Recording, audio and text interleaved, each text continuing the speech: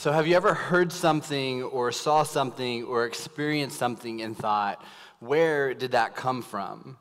You wonder, what's the origin? How does that even exist? Take bubble wrap, for example. So, bubble wrap is a $4 billion industry. There's a Bubble Wrap Appreciation Day, which is the last Monday in January. And the best thing about bubble wrap is popping bubbles, right. in fact, there are actually therapists who are starting to use that as a form of therapy, as a sensory. Uh, the second best use for bubble wrap is keeping things safe in the mail. It's Amazon. Uh, but that wasn't the intention for bubble wrap. In fact, bubble wrap was a mistake. In 1957, Alfred Fielding and Marcus Chavannes found a way to seal pockets of air in between two plastic shower curtains. Their goal was to create a three dimensional pattern of tiny bubbles that could be used as wallpaper. Yes, wallpaper. Bubble wrap was originally intended to be wallpaper for your house, but shockingly, people didn't want that. And so they began to try and market bubble wrap in other ways. One way was insulation for greenhouses, which also failed. It wasn't until 1961 that the protective usage was discovered, striking a deal with the computer company IBM. Their product was purchased to wrap up the IBM 1401 computer.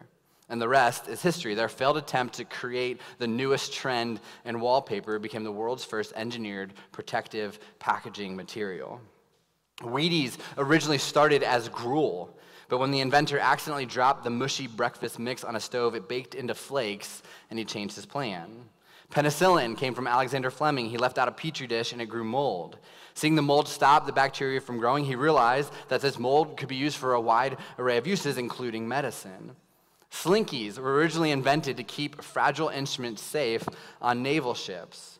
But one day, Richard James accidentally knocked one off the shelf and saw it slink to the ground, and he immediately knew that this would keep kids entertained for hours. There's something about learning the origin and backstory that makes the things that we experience on a daily basis more exciting and more interesting. And so, have you ever thought that way when it came to the church? Have you ever wondered how the church started? Where did the church come from? What is the origin? Why do we do what we do in church? Did Jesus do those things? Did someone else just make them up? And so, over the next five weeks, we're going to be in a series called Roots, where we're going to explore just that. We're going to learn about how the church started and what the first church looked like. And we're also going to talk about some of the things that we do at Collective and care about at Collective and how that influence came from the early church. And so, a lot of times people ask where Collective comes from. They'll say, Where did this church come from? And they aren't necessarily asking where I came from or even why we started a church. They're trying to figure out what type of church we are. Some of you have asked the same question or thought the same thing. You've wondered, Where are the roots of this church? And that makes sense because church planting is kind of a weird concept. A year ago, there wasn't a church here, and now there is. And so people wonder, where did this church come from? What are the roots? And so Collective launched last fall on September 17th. And so we'll actually be celebrating our first birthday on September 16th, which is a Sunday. So mark your calendars because it's going to be awesome. Uh, we made it a whole year. well, I guess we're not there yet, so we'll see what happens. But Collective is a non denominational church. And in the church world, denomination is another word for governance. You can kind of replace those words with each other. And so the main difference between denominational churches and non denominational churches is how the bodies, the church bodies, are governed and run. In denominational churches, there are local, regional, and worldwide leaders who determine the direction of a church. These denominational leaders dictate doctrine and what those churches believe. These denominational leaders will dictate how money is spent. They often dictate who the preacher is, and when a preacher moves, they actually have to replace that person instead of the local church figuring that out. And so ultimately, denominations control the movement of the other churches inside that denomination. Non denominational churches are governed locally, meaning for us, collective specifically, we have a leadership team that help us make decisions. Right now, that's what we call a management team, and that actually consists of five pastors from the DC area who I meet with once a month. They act as kind of our overseers and our elders right now. They help us set our budget, they help us hire staff, they hold me accountable. And eventually, at some point, as collective grows and, and this body continues to get bigger, we'll actually develop local leaders from this church who will then oversee it. So, being non denominational means that we have more freedom to choose the direction and vision of the church. We don't have to go to people outside of our region or outside of our district to figure out what to do. And we do all that while still being held accountable by local leaders that are in this place. And so, while we are a non denominational church, our roots are in a movement of church planting that's called the Restoration Movement or Stone Campbell Movement. And so here's the history of that movement. And for me, I like love this stuff. I love history, like the origins of where things came from. I'm a nerd, I know. But if you're a history buff, you'll like this. If not, buckle up. We're going. So, around 1800, pastors in America became concerned about the spiritual state of the church as well as the division that was seen in the churches in the United States.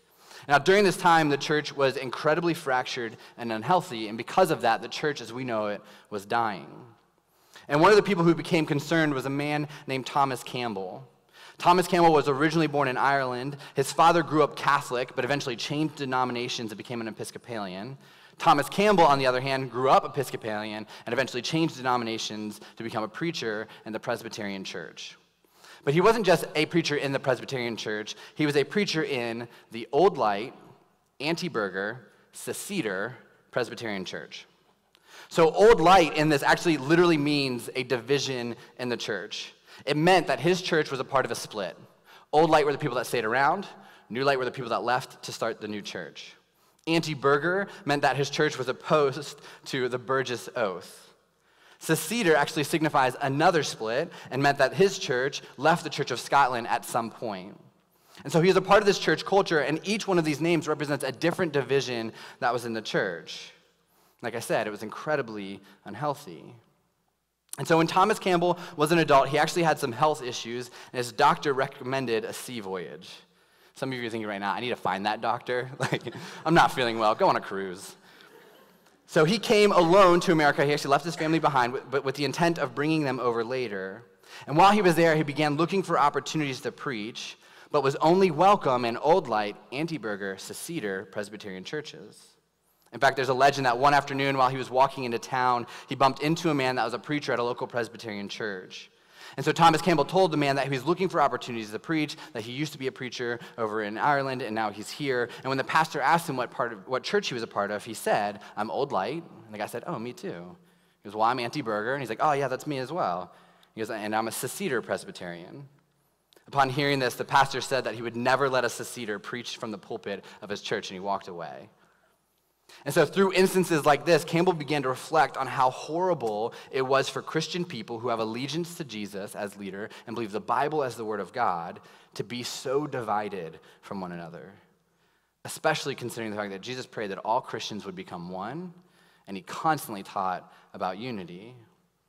And so, while in America, he got to thinking, wouldn't it be great if we could forget about the old light, anti Burgher, Seceder Presbyterian Church and just go back to being the church? He said, let's do things the Bible's way and forget about these creeds and denominational divisions. Eventually, he withdrew from the Old Light Anti-Burgher Seceder Presbyterian Church and he would say, I re- represent no denomination. He would say, I'm non denominational. About a year later, his wife Jane and his son Alexander set sail for America, but as they were making their way across the Atlantic, they, they were actually shipwrecked. After seeing his life almost end, Alexander began to think seriously about his relationship with Jesus and his purpose in life. That tends to happen when your life flashes before your eyes, right? So it was another year before Thomas Campbell was united with his family, but upon greeting his son, they were both startled to find out that they had arrived at the same conclusion when it came to the church.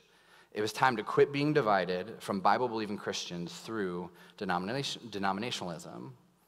It was time to simply try to restore the church to the New Testament Christianity as started in the book of Acts and seen in the following books of the Bible. At the same time, another similar movement sprung up in Kentucky.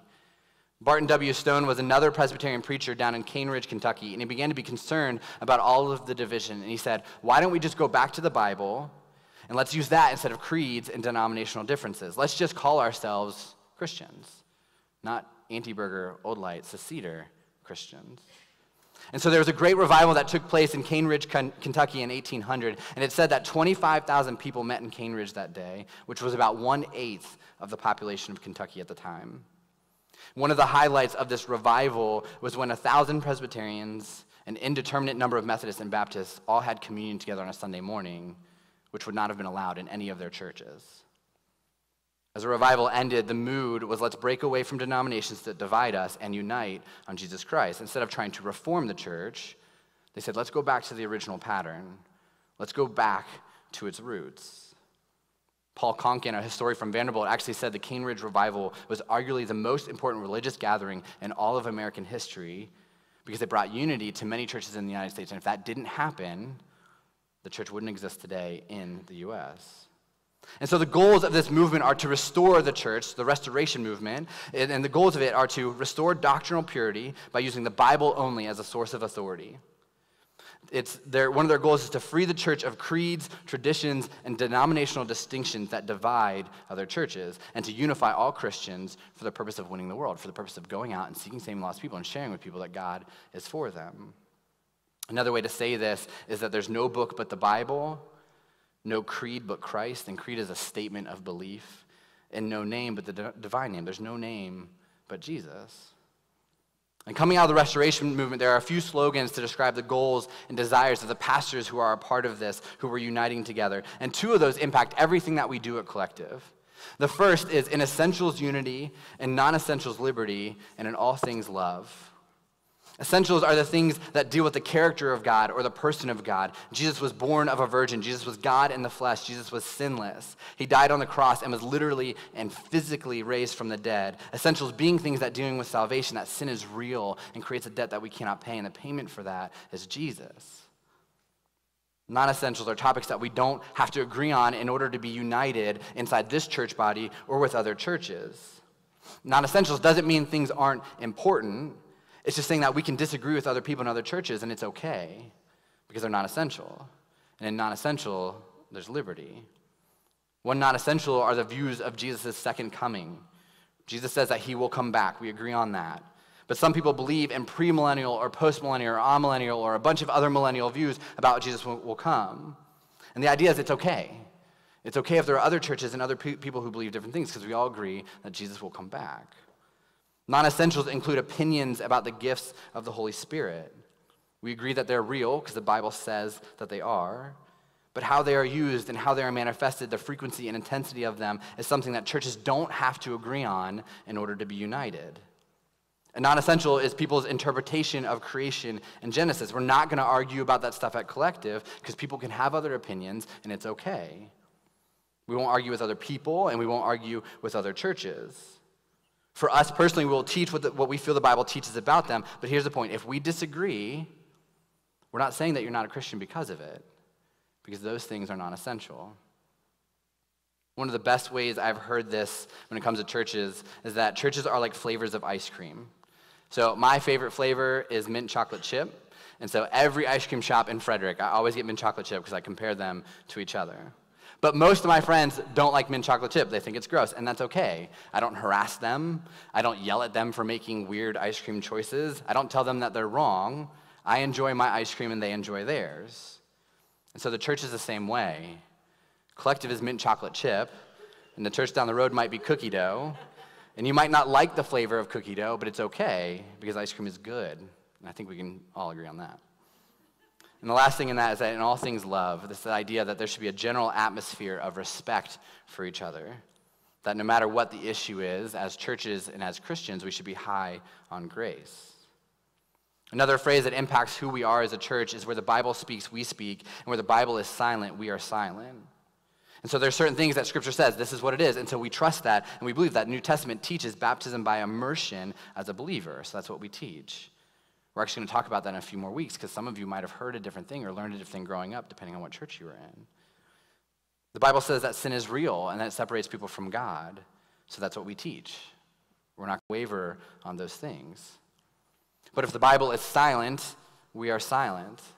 The Bible doesn't say anything about style of worship that we're supposed to have. We know that we're told to worship, but stylistically, the Bible is silent, so we do the style that makes the most sense for us in our context. The Bible doesn't say anything about what you should wear to church on Sunday, so we're silent about that. You wear what you want. You be you. Be comfortable. I wear t shirts every single Sunday because I don't own any collared shirts. So that's the movement that our church plant actually has roots in. We don't do church exactly the way that every other restoration church does it, but that's the beauty of it. In essentials, unity, in non essentials, liberty, and in all things, love. And so my desire is to lead the church based solely on what Scripture says. And because of that, one of the places that we look for wisdom, and one of the places that we look for truth, and one of the places that we look for guidance is the book of Acts. Now, I'm going to be really honest with you. Some of you are going to struggle in this series. And some of you are going to struggle over the next five weeks as we talk about some of these things. Because you're going to be thinking, and we're going to be talking, and we're going to be reading, you're going to think, that's not what my grandma taught me.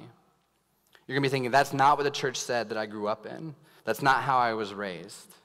And so here's the thing the number one application for this series, the number one application for really any single Sunday, but specifically this series called Roots, is this read your Bible. It really is that simple. Read your Bible. Crack it open, find something, read it. One of the best places to start is John. It's very easy to understand. But I would encourage you, read Acts. If you ever wonder why the church looks or what the church should look like, the book of Acts is all about that. And so read your Bible. Don't take my word for it. I appreciate that you trust me. Don't take my word for it. Don't take your grandma's word for it. Don't take your former priest or pastor's word for it. Read your Bible. When my family first started going to church, my dad was sharing with my uncle about the reasons why he liked the church that we were going to. And I remember my uncle saying that it's great that they play great music and that the sermons are engaging, but what do they believe? My dad responded by saying, I don't know, I just know that it's a good church. But my uncle persisted, What do they believe? My dad said, I, I don't know. And finally, my uncle was like, Scott, what do they believe? To which my dad responded, I don't know, just read your Bible. Actually, my dad said, I don't know, just read your fill in the blank Bible. The word was not holy. So while there'll be other applications to this series, that's the main one. Just read your fill in the blank Bible. And specifically, I would encourage you to read the book of Acts. So, the book of Acts is the fifth book of the New Testament. It's the first book that was written after the death, burial, and resurrection of Jesus. People often call the book of Acts the Acts of the Apostles. The apostles are people that were sent by God, these were the people that started the church. Another way that people talk about is Acts of the early church. And the book of Acts is the chronicle of how the church started. Acts starts with Jesus spending time with his followers before ascending into heaven after his resurrection from the dead. In Acts 1 3, it says this After his suffering, he presented himself to them and gave many convincing proofs that he was alive. He appeared to them over a period of 40 days and spoke about the kingdom of God. And so Luke, who writes the book of Acts, explains that after Jesus was crucified, and after he was buried, he resurrected from the dead and actually presented himself to his followers. At the time, there were about a few hundred people, but he gave them proof. He taught them about the kingdom of God. He gave them instruction on how to live moving forward. And then he was taken up before their very eyes, and a cloud hid them from their sight, or hid him from their sight. And so Jesus actually ascends into heaven with a promise that one day he would come back. About seven days after this happened, a crowd was gathered in Jerusalem. And so Peter, one of Jesus' followers, actually sees this large group of people and he decides to preach the gospel.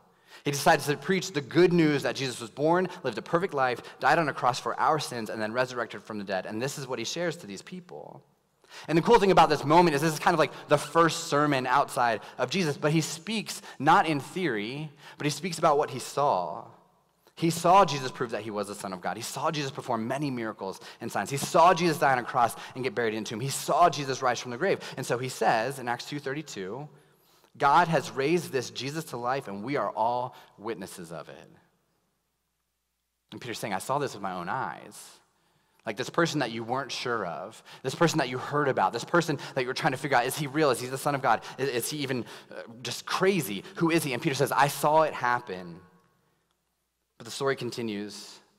And Peter says, Therefore, let all Israel be assured of this God has made this Jesus, whom you crucified, both Lord and Messiah. When the people heard this, they were cut to the heart and said to Peter and the other apostles, Brothers, what shall we do? And this is the response to the gospel. This is the response to the good news that Jesus died for you, that he presented himself as a perfect and willing sacrifice to pay the debt that our sin creates with God. When you understand this, and when that sinks in, the response is, What shall we do? And Peter replied, Repent and be baptized, every one of you, in the name of Jesus Christ for the forgiveness of your sins, and you will receive the gift of the Holy Spirit. The promise is for you and your children, and for all who are far off, for all whom the Lord our God will call. So Peter says, repent, which means turns away. Turn away from your old life. He says, be baptized, which again, we're going to talk about in a few more weeks. And he's saying this that this is not just for the people who followed him before he died and resurrected. This is for the people that are there in that moment. And there are people for now and forever. And Peter doesn't know this, like he's just casting vision for this. But ultimately, Peter's saying, hey, this is for everyone. This is why we get to do what we do here at Collective. This is Peter saying, at some point, maybe other people will hear it, and they have the opportunity to accept this gift as well. And so those who accepted, those who accepted his message were baptized, and about 3,000 were added to their number that day. And so here's this moment where thousands of people hear that Jesus is for them, and they respond by giving their life to him, by making him the leader and savior of his life. And the natural thought would be, what now? Like, what do we do? Like, we share the gospel, now people want to follow him. Where is Jesus in here? Like, how do we move forward? What do we do? And this is the catalyst for the first church. Before, it was just a group of people following Jesus trying to figure out if he was a liar, a lunatic, or Lord. But now it was up to them. And we actually see in Acts 2 their response. This is how they respond to this massive people deciding to follow Jesus. They start the church. This is what it says They devoted themselves to the apostles' teaching and to fellowship, to the breaking of bread and to prayer. Everyone was filled with awe at the many wonders and signs performed by the apostles. All the believers were together and had everything in common. They sold property and possessions to give to anyone who had need. Every day they continued to meet together in the temple courts. They broke bread in their homes and ate together with glad and sincere hearts, praising God and enjoying the favor of all the people. And the Lord added to their number daily those who were being saved. And so this moment is the start of the church. This is where it began. This is the origin. A group of people saw Jesus resurrect from the dead. They told other people about it. Those people believed and were baptized. And the church came out of that. That's where the manifestation of the church came. And so in Acts 2 42 through 7, it shares the characteristics. It tells us what the first church looked like. It says the church was devoted to the teaching of the apostles. They had a strong sense of community. They took communion together. They ate meals together. They took care of the people who had needs. They were united. They prayed. They praised God. They invited other people to experience Jesus people who believed, people who were skeptical, people who were doubtful, and people who flat out hated Jesus. They were all welcome. And through all of this, the church grew. People began to follow Jesus, people were baptized. And this is the origin of the church. This is how it all began. So when we went to Start Collective, we didn't turn to a church planting guidebook. We didn't look at mega churches to see what they were doing. We focused on Acts 2. Because if it worked 2,000 years ago and the church still exists today, then it makes sense that it would work in Frederick in 2018. And so, the thing I want to focus on today, and we're going to focus on different aspects of this church over the next five weeks, but the thing I want to focus on and strive to do to the best of our ability today is focusing on serving the community. In Acts 2:45, we're going to read that again. It says this: They sold property and possessions to give to anyone who had need.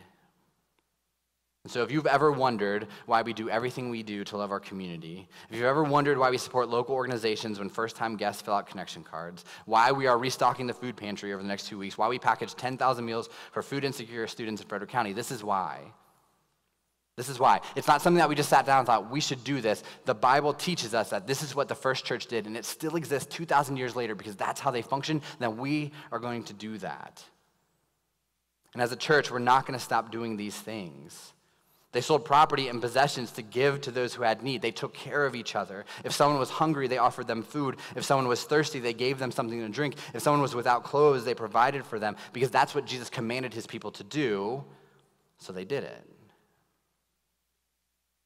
A few years ago, a friend of mine who was a church planter felt the burden to feed food insecure kids in his community.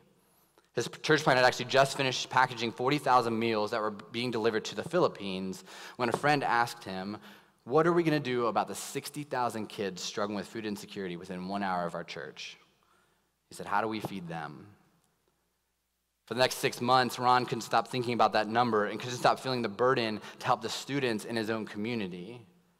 And so one morning, he actually stood in front of his church, which at the time they were a few years old, there were about 125 people and he presented them with this problem. He said, There are 13 million kids in America that are food insecure. What do we do? And the overwhelming response from his church was to do everything they could to feed these kids, including shutting down the church and using all of their resources to make an impact. And that's exactly what they did. They closed Restore Community Church and started an organization called Generosity Feeds. And since the inception, they've packaged and delivered approximately 2 million meals for students who are food insecure. And by the end of the year, they'll actually deliver their 3 millionth meal. And so we're going to do the same thing. We're going to close the doors. I'm just kidding, we're not doing that.